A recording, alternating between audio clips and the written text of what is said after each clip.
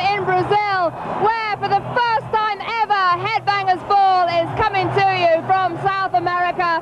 And of course, for us to be here, it's got to be a truly auspicious occasion, and it is. Iron Maiden are celebrating their 20th anniversary with a brand new album, The Best of the Beast. And that's exactly what you're going to get tonight. Interviews, videos, and live performances from here in Sao Paulo, and an Iron Maiden documentary. So for everything you ever wanted to know about Iron Maiden, but were too afraid to ask, check out The Best of the Beast from Brazil with Headbangers Ball.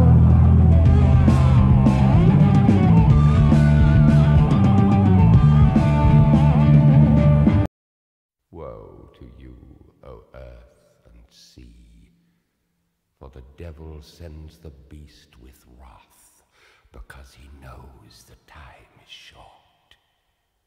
Let him who hath understanding reckon the number of the beast, for it is a human number.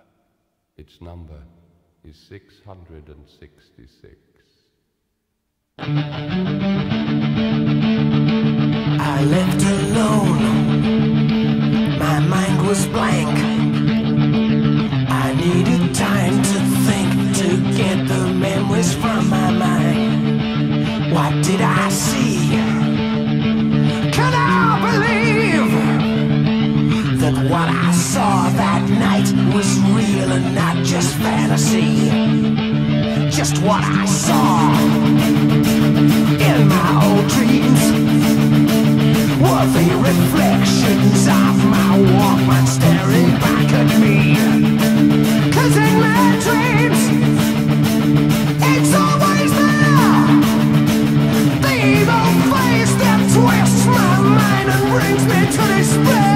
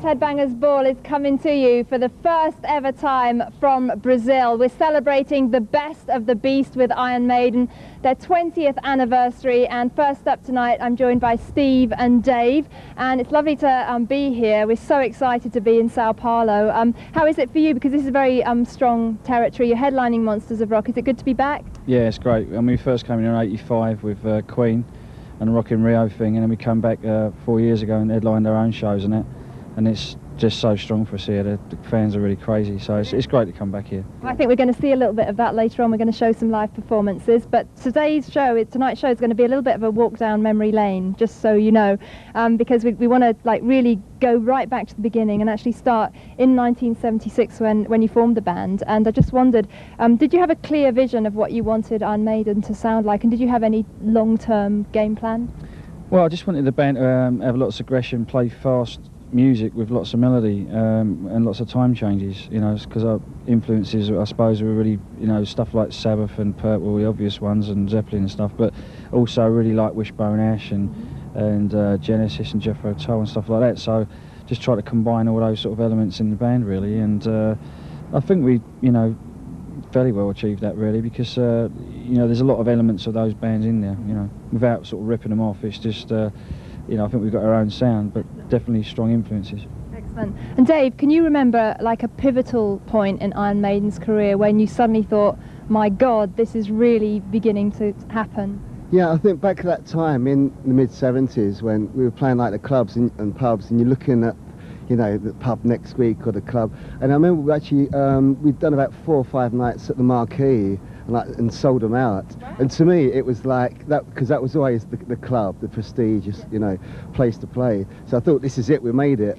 We played headline Marquee, and then next stage it's like this play Hammersmith Odeon or that's you know. So it kind of branched out from you know from the clubs into the theatres, then into like the arenas, and then from England actually moving out across Europe and eventually to America, Japan. So it started off from the pubs to the whole world. And now, like 20, 20 years, you know. And now 20 years, you're headlining here in uh, Sao Paulo in front of 70,000 rabid fans, which is a fantastic achievement. Um, uh, we're actually going into the video for Number of the Beast, um, which of course has got Bruce Dickinson on vocals. Um, what's your kind of strongest memory of that era of Iron Maiden's um, career?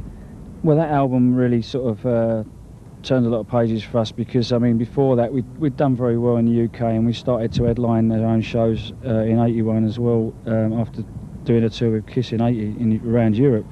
But uh, worldwide, Beast, you know, seemed to sort of break us because we had number one in the UK and from there it spread just, you know, everywhere. And so that the actual song um, seemed to become, you know, a real uh, standard track for us, yeah. And I mean, even now we still play it in the set and uh, it's a song that everyone loves to hear. So, you know, it's um, it stood well at the test of time. TV support, which makes it an even more extraordinary achievement. How do you explain um, the phenomenal success? Is it the touring? Is it the fans? Is it a bit of both? Or? Yeah, I think we kind of built up a cult following um, in in England and stuff at the, in the beginning, and it was really it's been from touring. I think we've done about ten world tours now, and they've been like long tours, you know, ten months, and, and one of them was like thirteen month tour. So really, it's like out of the hundreds and hundreds of gigs we've done over the years. I think that's that's been the strength because um, you know we haven't been play, played on the radio very much, and um, so it's been going out there and taking the music to the fans. And I think it's spread like word of mouth. You know, they tell one friend, they comes down. So you know that, and probably like through magazines, and, and it's kind of got the band across. And I think also like the music, we've kind of stuck by what we believe in and playing, and we've never actually, you know, become like commercialised, you know, accessible for for the radio. It's just do what we, we feel. And I think the kids believe in it, and that's why they're stuck with us over I this. think that's a very good point, particularly in these times when the trends come and go. So, um, actually, Steve, if I can ask this one to you, you have had several lineup changes over the years, and I was wondering, um, although it must have see, up, seemed a little bit upsetting, unsettling at the time, do you look back on those lineup changes and see them as a, like a positive kind of growth for the band? Yeah, I think you've got to look forward. I think, you know, whenever someone leaves for whatever reason, you just have to make sure that the, the change is a positive one. And uh, if you start worrying about the past, and, and we have a fantastic history, but you've got to look forward, and you're only as strong as your next album. So.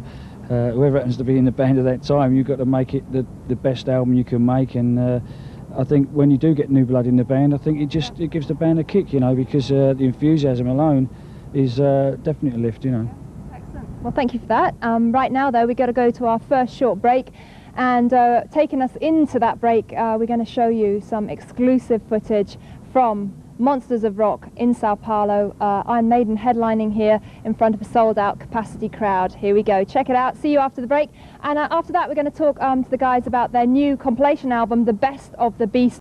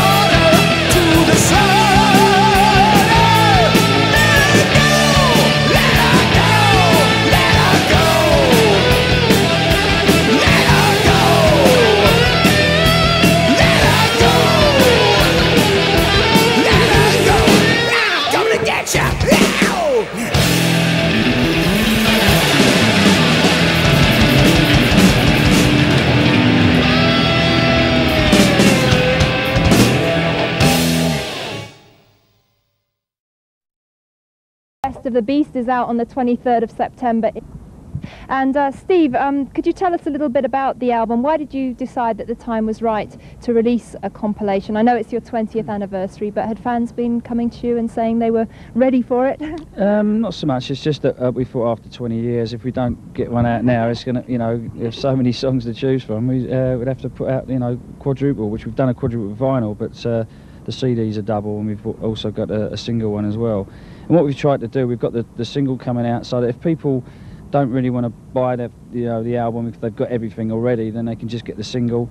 Right. Uh, tried to cater for everybody, so there's a single album for people who maybe just like one or two Maiden songs and, and not really got into the band much before, prefer a single album.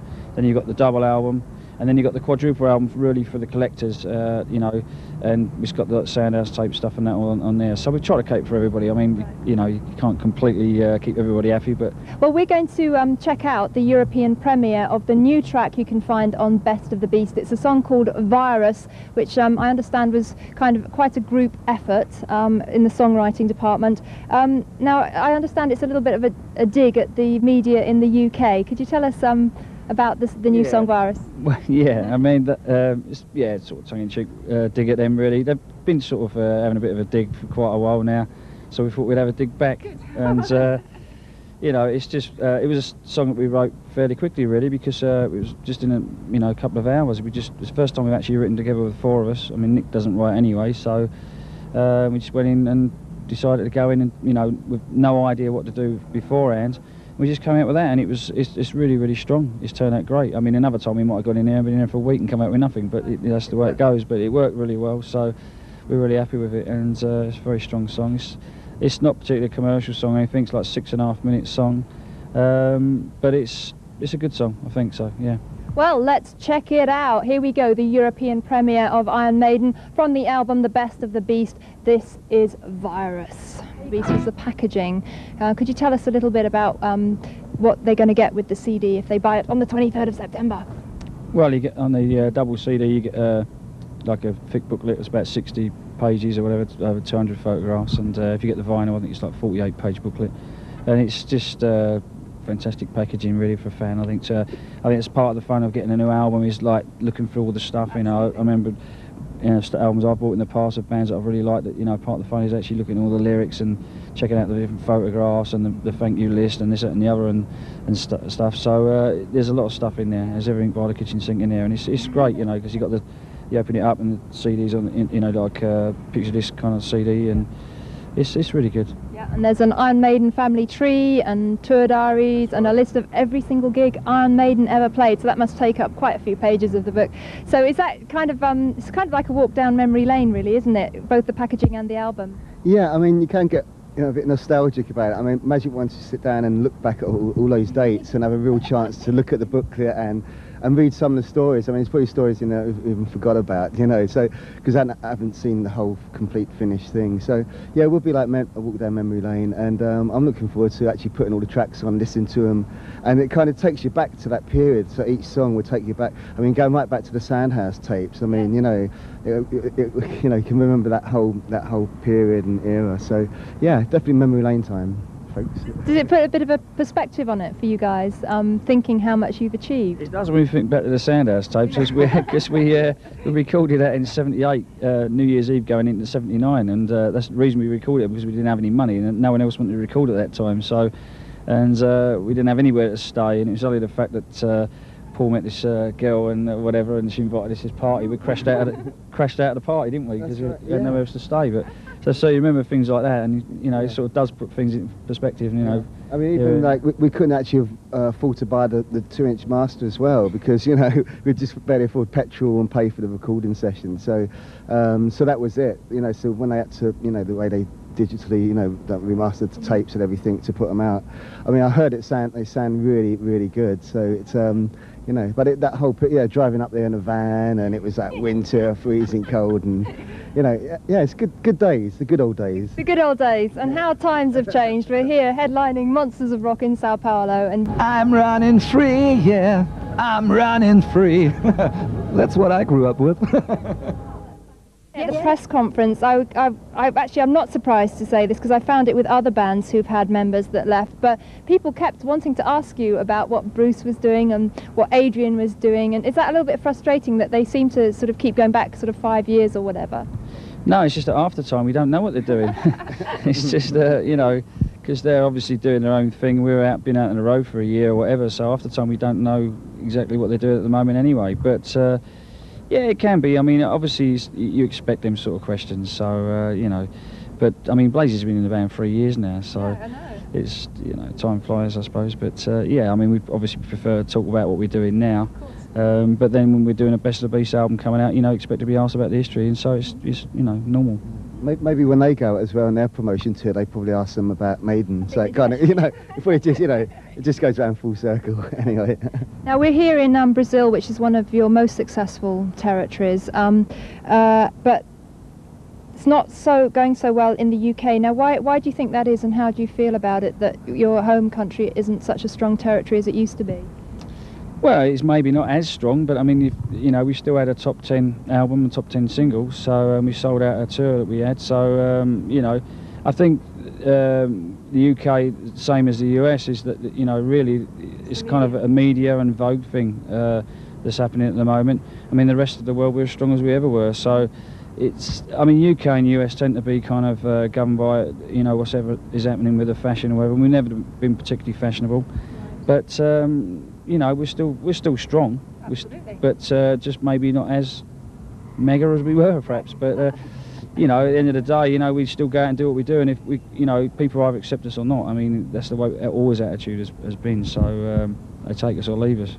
Absolutely. Well, here at Headbangers Ball, we're taking you because we regard you as a very important part of the show, and uh, we're actually, like I said, we're so happy to be here. So um, we're going to talk to the guys some more uh, in a little while, but right now, um, taking us into our next short break, we're going to check out some more fun and games.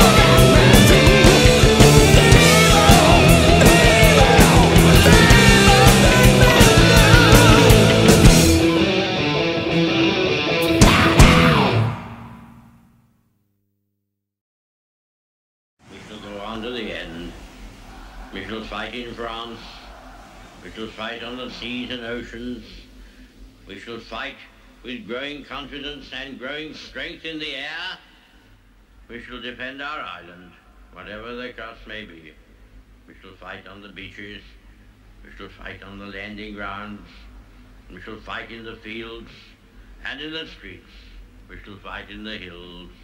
We shall never surrender.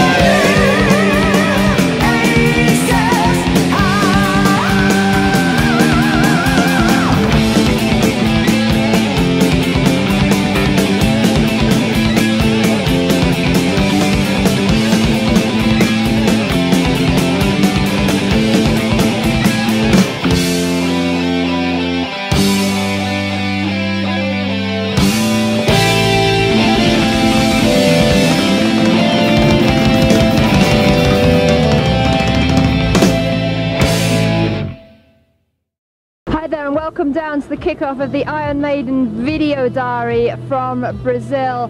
Well, we arrived in Sao Paulo this morning at about 6.30. We've now checked into the hotel, had a little bit of a rest, and it's coming up to 11 a.m. in the morning. And the first thing on Iron Maiden's schedule is a press conference. So let's see what happens.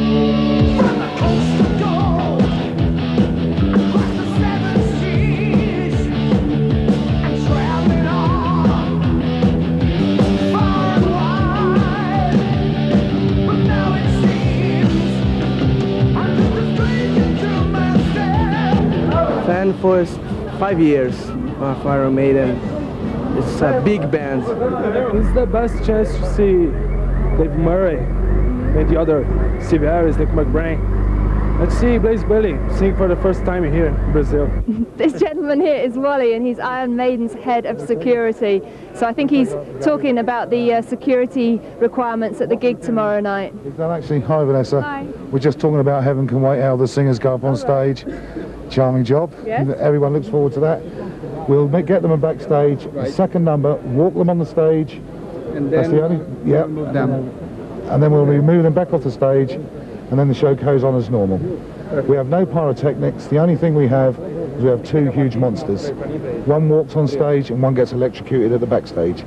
Other than that, I don't think we've got anything really much to worry about. It's a bit mad here, as you can see, but normally it's quite as mad as this, so it's a good time. Good. Well, you can see Skid Row have just turned up. And it's actually one cool thing about this festival, all the bands and everybody's staying in the same hotel. So uh, welcome to Sao Paulo. Thank How are you guys? Excellent. How are you? Yeah, I'm very well. Very well. Aren't you a little far away from home? Yeah, well, so are you. Absolutely. Good welcome to see to you. Sao Paulo. Man, orange hair is the in thing now, isn't it? yeah, We've all got look. orange hair. I did too, but it didn't take too well. We drove past the stadium on the way here. It looks pretty cool. Good. Yeah, you seen any shows down here before? Nope. Oh, they're great. It's awesome. They're great. It's crazy. Do the kids go absolutely mad? Yeah, they do. They're like hair pullers, you know?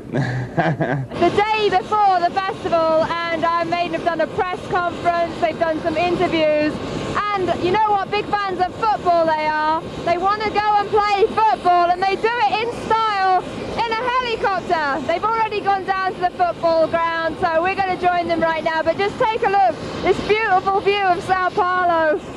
I'm really frightened of helicopters, but should we give it a shot? I'll cross myself. Fingers crossed.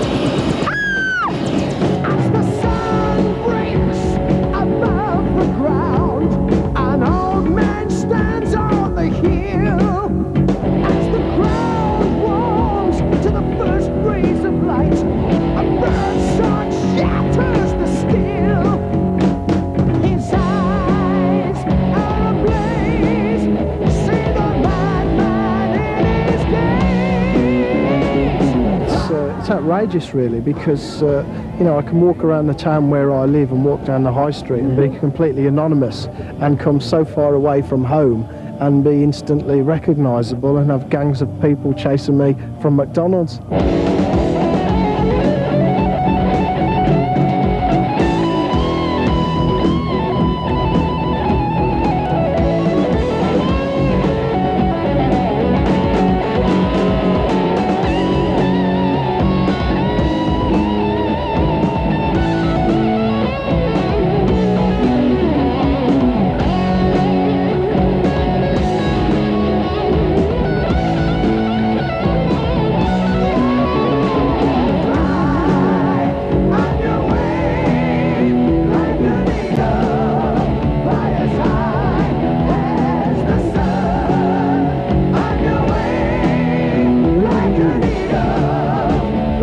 Vanessa, we just came here to see Iron Maiden. From Belgium all the way to... We stay in Rio de Janeiro, came by plane to Sao Paulo, and we see them on Monday again, Rio de Janeiro. Mayday! Mayday! Iron Maiden gonna get you wherever you are!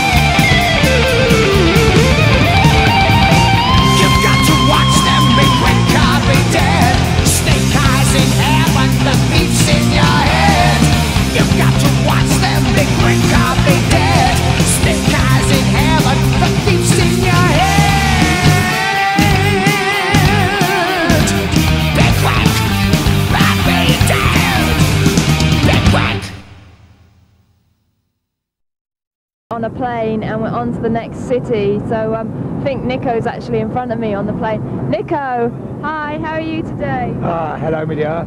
Very well. Hello, boys and girls. How was, how was the gig last night, in your opinion? Oh, brilliant. Abs- absolutely fantastic. Uh, I think it was a full house. Yeah. You know, uh, and uh, the kids are brilliant. They've been they'd been there since like nine in the in the morning. I think the doors opened at three. You know, so they had a long day. We actually got on stage at midnight, and uh, so we weren't quite sure how they were going to react because you know, being a gig for nine, ten, twelve hours, uh, it's, it's quite heavy. You know, but they went crazy. Man, it was brilliant. We played we played really pretty well. Um, and had a few problems with some sound here and there, but you know that's when you do festivals like that. It's sort of like put your hand in the hat and see what comes out. Oh, get lucky tonight, have a good sound. You know. What book are you reading? Ah, Star Trek Q squared. It's uh, one of the, the there's I think it's about the fourth book that was written on the series, but uh, And one last question: Are these are these glasses necessary this morning? uh, yeah, because I'm as blind as a bat when I don't have them on.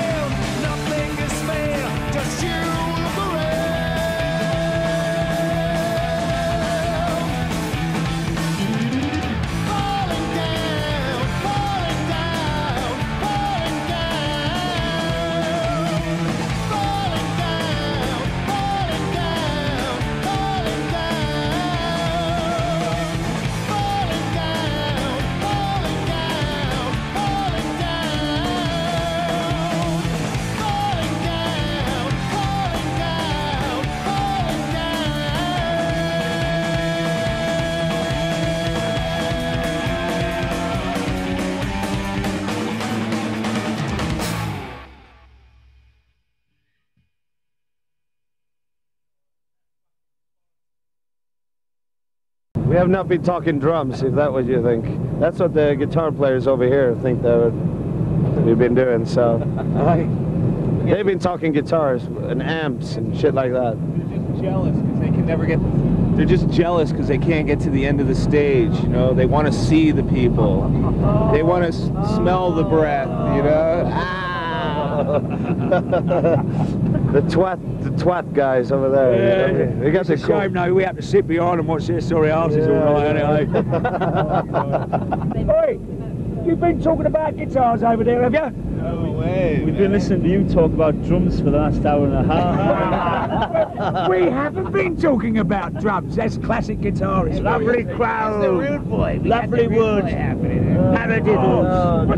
Well, we've been on this plane for two hours and it's only nine in the morning. You know? Well, we still haven't gone to bed. That's the thing, you know. Yeah. At least this row has not been sleeping. It's definitely no sleep till we get wherever we're going and do No. whatever we've got to do. No sleep till Hammersmith, but no sleep till Rio, I'll tell you that. no, tonight be the grande de finale, as I told you before. My birthday uh, grief was uh, pack in, boys, as I told you, but Yeah, that's what we were saying. 20 years of Maiden, you know, it's an anniversary and all this. And they go, here you old fart, look at you. Uh, old bugger. I want to remind Nicko that they were together while I was what? When you started the band, we were about Uh, five. I was five, I think. No, I was three.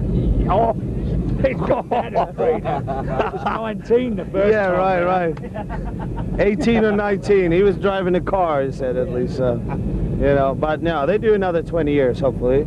Yeah. All right, I have to go and sit down now because we're coming into land. So um, see you later. Hello, Baz. I don't know if you can see, but there's pollution here.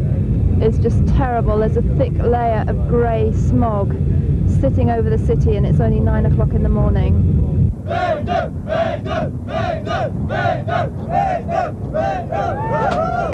I'm just doing my little diary there, which is for the Iron Maiden website. I'm keeping an occasional diary. I'm just writing up about the uh, events of the previous evening. I saw Sebastian Bach this morning. He looked in a bit of a state, and apparently he hadn't slept because he was up all night talking to Lemmy. I saw Lemmy about 10 minutes later. He looked completely normal, as if, and he hasn't slept since he's been in Brazil.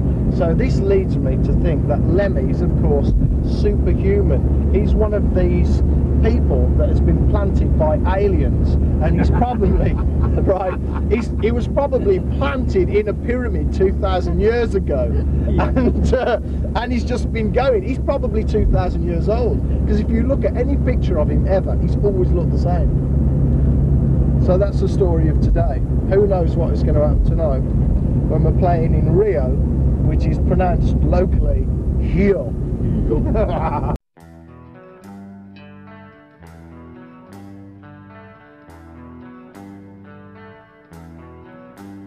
There's an evil virus that's threatening mankind.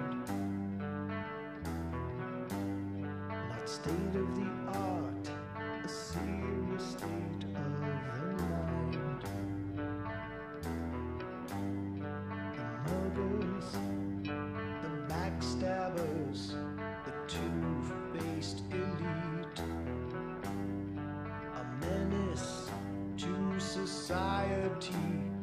a social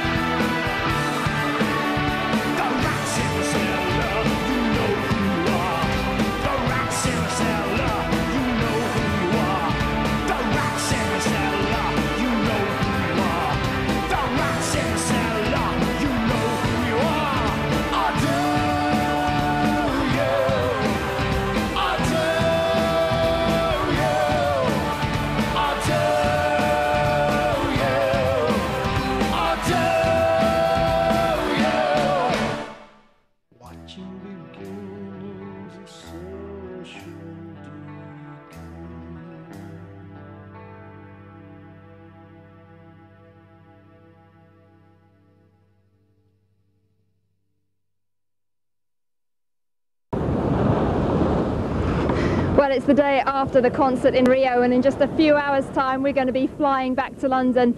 But before I go, I'd just like to take this opportunity to tell Iron Maiden that they are one of the reasons that I got into rock music in the first place.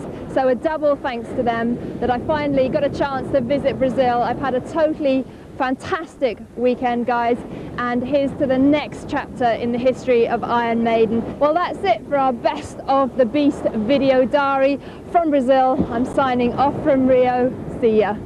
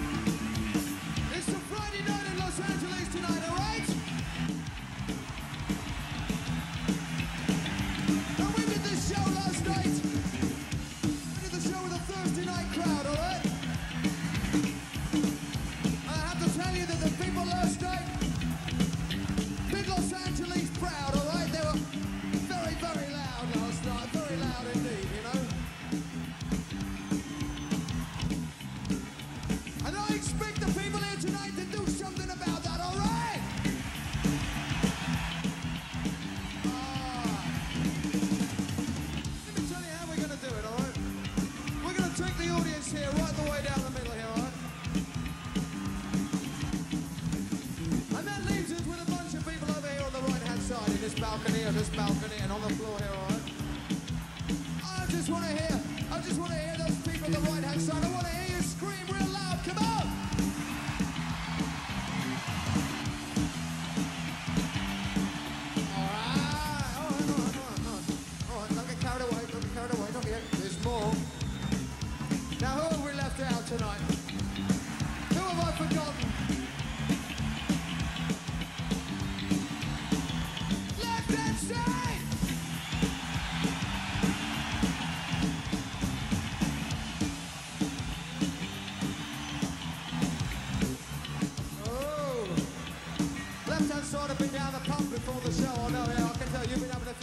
few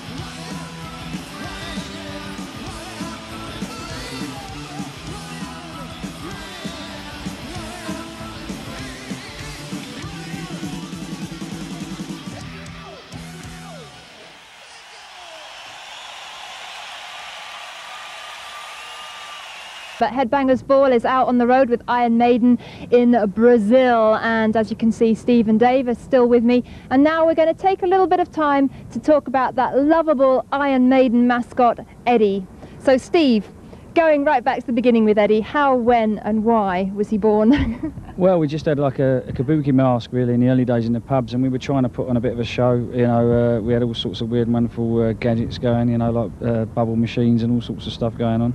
And we had um, a kabuki mask which used to go above the drummer's head, and bloody used to come out, wouldn't go all over his head because uh, there was no else uh, other place to put it. And uh, it just sort of expanded from there. You know, we had the eyes just light up and a bigger one, and smoke come out the mouth. And then when we did the first album, Derek Riggs just expanded on that, and so uh, Eddie was born, I suppose. But uh, it's great having Eddie because you know he can be on the covers and, and do you know loads of different things image-wise in the shows, and uh, it means that we don't get recognised in Tesco's. So yeah, just send Eddie shopping. Yeah, yeah, yeah. so, um, how has he, like you said, he's developed from a mascot to a stage persona, and you've got a walking Eddie and an Eddie that gets electrocuted and all sorts of fun things like that. Why do you think he's so popular with the fans? Can you put your finger on it? Yeah, I mean, he's um, been different characters throughout the years. You know, he's been um, he's been brought to life, and he's been like a sci-fi, like Terminator type robot, and he's been like a mummy, uh, a daddy. Uh, it's been it's been all sorts of things. So I think really it's just because he's kind of you know this character and just the grot. He looks pretty grotesque, this guy, but it's kind of like Eddie can do anything. I think maybe it's relate to because he's like like this creature, you know, that can actually you know perform anything, do anything, and I think maybe that's why he's likable, you know. But he, I don't really find him scary. That's the funny thing. No, I don't think he should be that scary. I mean, it's, it's tongue in cheek a lot of the Yeah. stuff that we do with him and stuff. So, but like you know, it's I think Eddie, you know, is like you say, he can do it almost anything. So it's like it, you know, your imagination can run right with the sort of, you know, whatever. So I don't know. Who knows? Maybe you should ask the fans that one. Maybe I could ask Eddie. he doesn't do interviews though.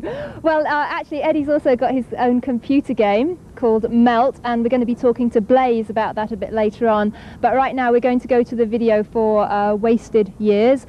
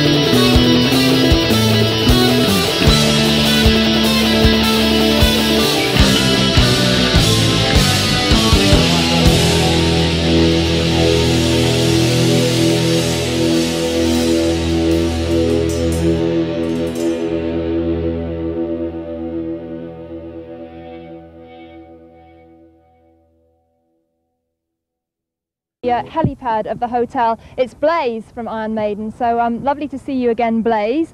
Um, how is life in Iron Maiden in 1996 headlining these Monsters of Rock shows? Uh, maravilloso. yeah, it's absolutely, uh, it's brilliant. I'm really looking forward to the show tonight. It's uh, it's going to be the biggest one that I've headlined so far on the tour, but um, everything's been going fantastic so far. You know, uh, since uh, we last got together in uh, South Africa, it's just been absolutely brilliant.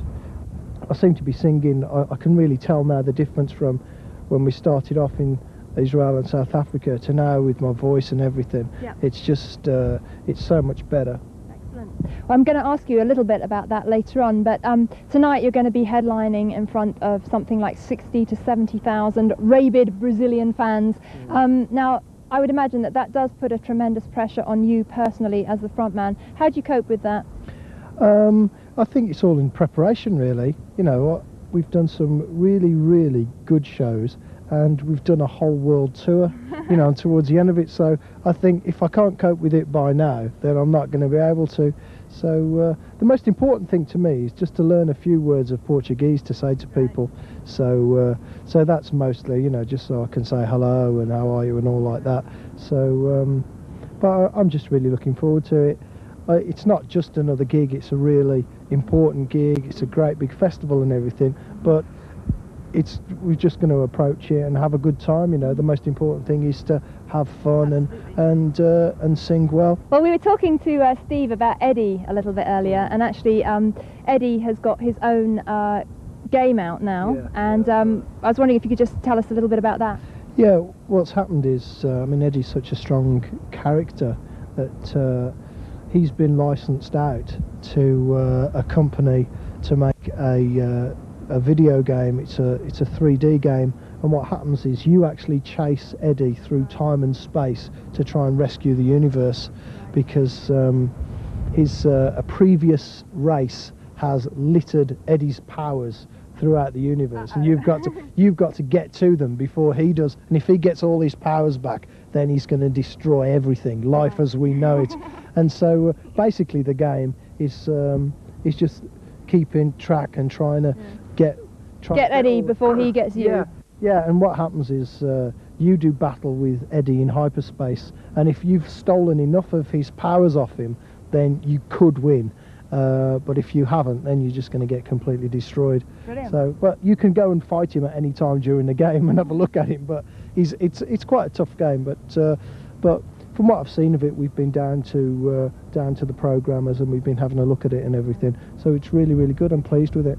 Well, we've got a little competition for you on Headbangers Ball to celebrate the best of the beast, and we've got five goodie bags to give away, consisting of um, Eddie's game Melt and some copies of the album and some T-shirts. And if you want to enter the competition, all you have to do is answer a very simple question, which Blaze is going to set for you now. Okay, on um, on the album Best of the Beast, we've uh, written and recorded a brand new song that isn't on any other album, and it's going to be a single. What is the title of that song? Excellent. Okay, so if you know the answer to that, what is the title of the new song on The Best of the Beast? Put your answer on a postcard along with your name, age, address, and telephone number, and send it to Iron Maiden Best of the Beast competition, MTV's Headbangers Ball.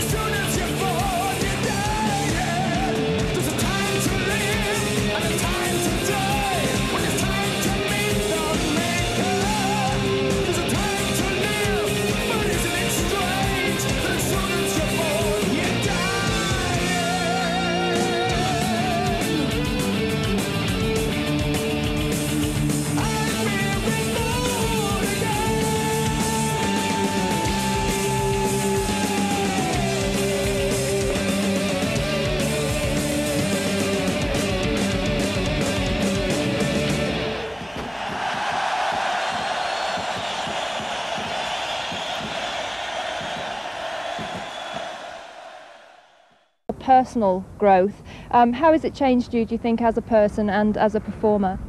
Um, well, I think I'm a lot more confident really as a performer because uh, I've been accepted by the fans throughout the world now, and my singing, my whole technique has improved since uh, since I started the tour, and it's the longest tour I've ever done. So you know, my, my voice is a lot stronger. You know, I know how to approach the songs and how to prepare myself. I've had to more or less completely give up booze. well, so so that's that's one thing on the personal note, which uh, you just can't do it when you're doing uh, a set as long and uh, as hard and, and putting as much into it and being as intense to keep your voice and you know go out for a few beers and that it's just not possible. So uh, so for this whole leg of the tour you know I'm not I, I can't really drink until the end so it's going to be margaritas in Monterey you know on, on the last day Well, that sounds fantastic. A bit like a dream come true because we were whizzing around in helicopters and playing football at somebody's private ranch yesterday. Um, have you ever kind of felt your feet coming off the ground, or have you have the people around you kind of kept you firmly in place? yeah, one, one or two times my feet have uh, come off the ground, but usually everybody just says, "Well, stop doing that, you big-headed bastard," and uh, I'm back to normal. So, uh, so it's been okay. But uh, really, uh, this whole part of the tour, I mean, it was really.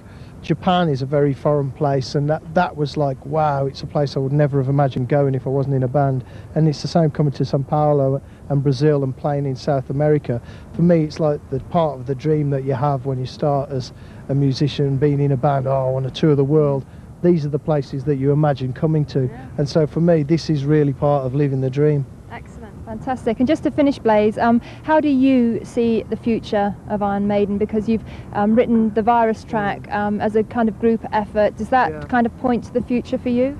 Um, well, if you listen to uh, Virus uh, after um, the last studio album, then uh, I think you can really see there's a progression in the sound, in the in the confidence of the band. You know, we've worked together for a long time now, so I'm really, really excited about the next studio album. Best of the Beast is coming out. That's I'm sure that's going to do really well. And then the next studio album, which we probably start recording, writing and recording in January. I just feel it's going to be really, really exciting. So lots to look forward to. Yeah, yeah, Alright. really. Well, very nice to talk to you. Thank you for joining us up here on the roof of the hotel. And uh, have That was the easiest way to rebel. 666 all the way.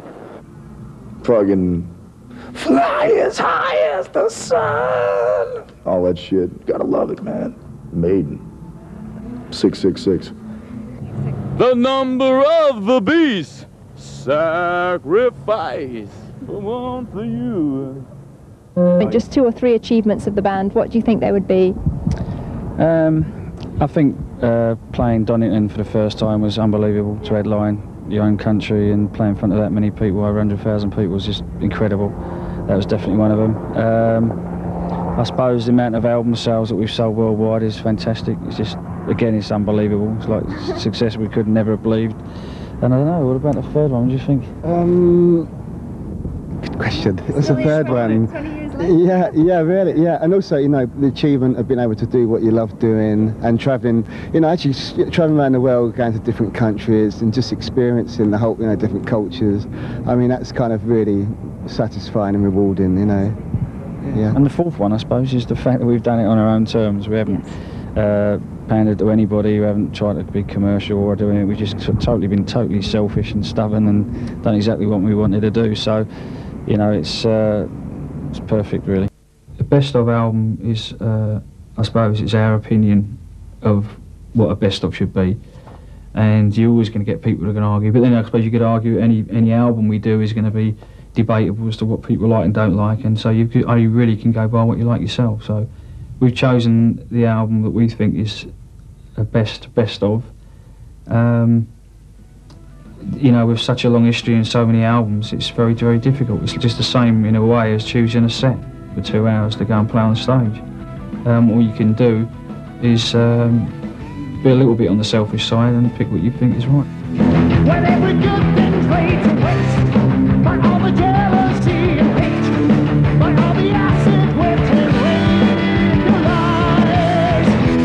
Suppose from fairly early on, I wanted to um, play, you know, sort of fast, aggressive music, but with lots of time changes and lots of harmonies, um, which the harmonies really like the influence of Wishbone Ash a lot of people thought it was like Thin Lizzy, but I mean I like Lizzy as well, you know. But um, Wishbone Ash was really the, the main sort of um, influence. But uh, yeah, just to play like loud, brash kind of music, fast music, but with, with uh, loads of melody in it, um, with interesting uh, time changes.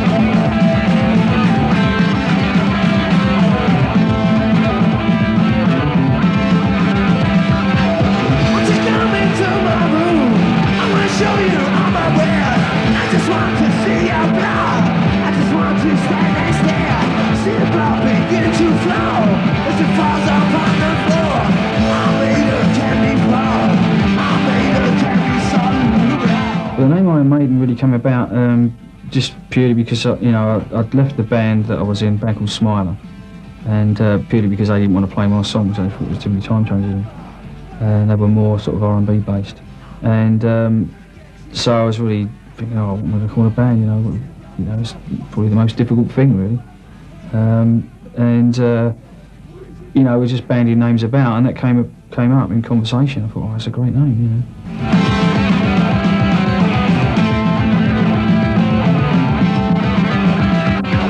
The making of the first album was uh, a nightmare, really, because we, I mean, it was our first attempt at recording an album, um, working with somebody that we didn't know anything about, really, or didn't, they didn't know anything about us. And um, we ended up pretty much well producing it ourselves. With, and thank God, the engineer uh, Martin Levan was was really good. You know, overall, I mean, for a first album, I thought, it, you know, I mean, there's some really strong songs on it. Because I suppose they were sort of like a best of of the songs we'd written over the previous four years. So um, it was a strong album.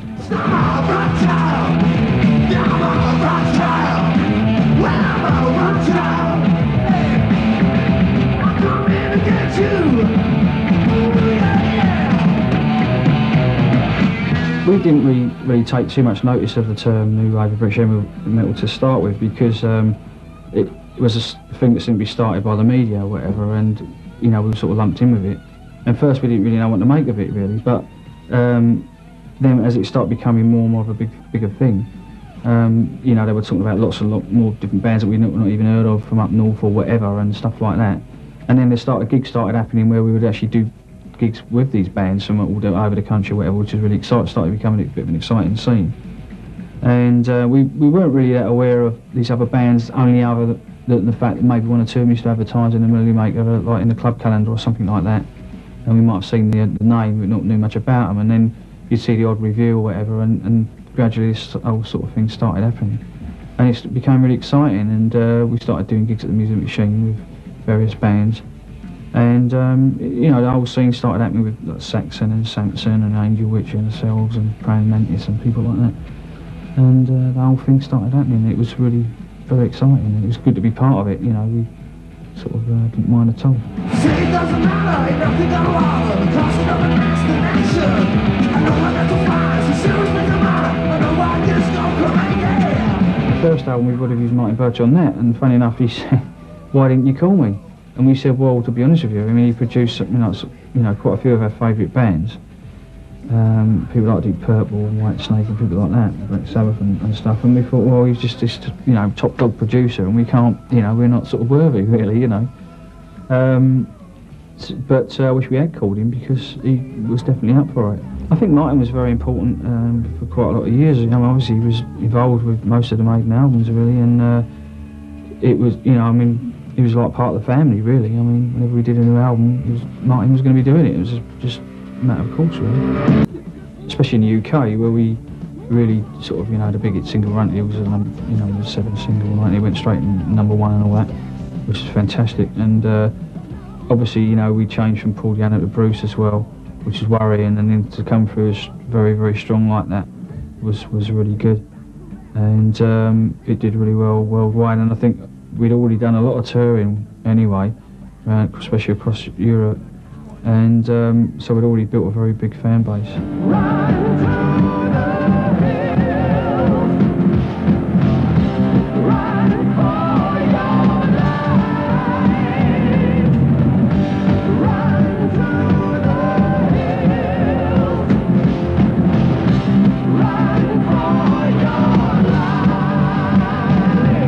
I like to think that we understand um, the fans to a certain degree.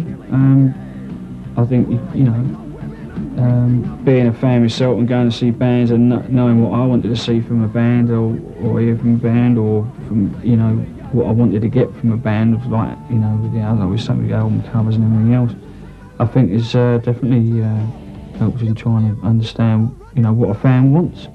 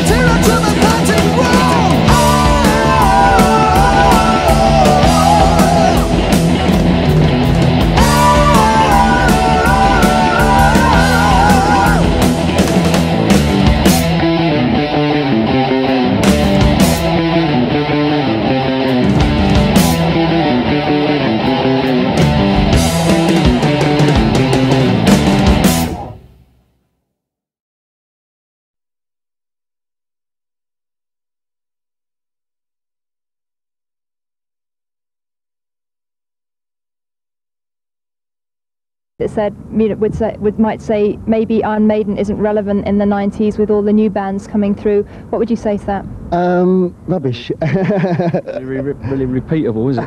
no. I mean, the thing is, we're, you know, we're still able, we're still selling a lot of albums, and we're still, hey, we're in Brazil, we're playing, you know, sold out football stadium. So, I mean, I think it's very relevant, and I think, um, you know, we still have a, a lot to offer, you know, in the music and everything and you know, I still think we've got a while to go yet. And, um, and the thing is, we, you know, we're just going to keep going till we, you know, enjoy ourselves really and have fun, you know. the most important thing. And you know what? It does say it all. If you're selling out 70,000 people here, you don't need to really even answer that question. but I have wanted to ask it. even if we weren't, I mean, uh, you know, even if things did go to the point where we were, you know, not selling out so many places and stuff like that, we'd we'd still, if we were still enjoying ourselves, what we're doing, that we'd still carry on because that's what we started in the first place for.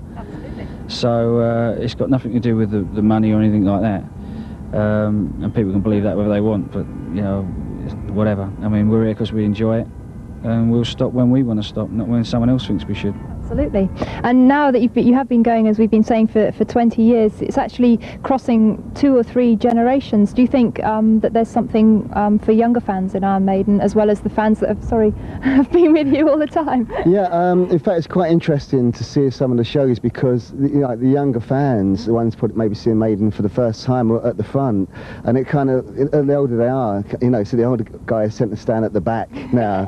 So um, yeah, so yeah, yeah, so, you know, a few generations there, and I think you know they're just enjoying it. They're growing with the band, and especially like the Best of the Beast, if, it, if it's their first album, kind of gives them an overall picture of everything that we've done, you know. And um, and I think you know a lot of these young fans have got favourite albums. Some of their favourite ones go right back to the early days anyway. So um, they kind of tend to stick with you over the years, you know. I think.